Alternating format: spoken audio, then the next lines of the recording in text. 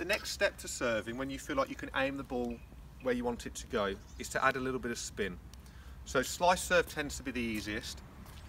The main tip with a slice serve is when you're throwing the racket up to the ball, you want to lead with the edge.